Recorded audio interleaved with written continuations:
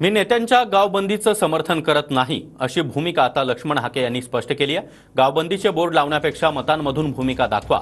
लक्ष्मण हाके यांनी ओबीसी समाजाला हे आवाहन केलंय.